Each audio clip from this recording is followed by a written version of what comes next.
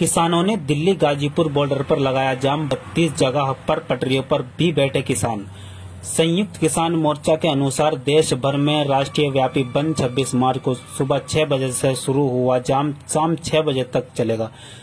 दिल्ली की तीन सीमाओं, सिंधु बॉर्डर, गाजीपुर बॉर्डर और टिकरी बॉर्डर पर किसान आंदोलन के चार महीने पूरे होने पर किया जा रहा है।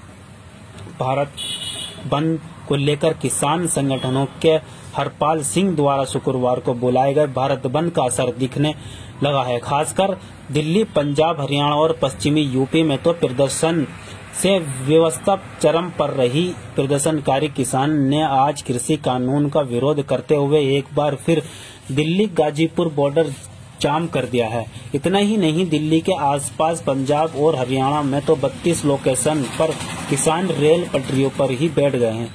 इससे रेल सेवा पूरी तरह प्रभावित हो गई है। रेलवे ने इतिहास के तौर पर चार शताब्दी ट्रेनों को रद्द करने का फैसला किया है। देश के कई अन्य हिस्सों में आंदोलन की वजह से सड़क परिवहन प्रभावित है। साथ ही कुछ जगहों पर बाज़ार भी बंद हैं। हालाँकि किसान संगठनों का ऐलान के मुताबिक पाँच चुनावी राज्यों में यह बंद नहीं होगा। संयुक्त किसान मोर्चा के अनुसार देश भर में राष्ट्रीय व्यापी बंद 26 मार्च को सुबह छह बजे से शुरू और शाम छह बजे तक चलेगा, जो दिल्ली के तीन सीमाओं, सिंधुपुर बॉर्डर, गाजीपुर बॉर्डर और टिगरी बॉर्डर पर किसान आंदोलन के चार महीने पूरे होने पर किया जा रहा है। पहनने वाला है। वो उसकी चप्पल भी निकल गई है, वो रोड के ऊपर आ गया है। तो मोदी जी, आप देखें, ये सारा का सारा आपके पास खड़े करते हैं आप।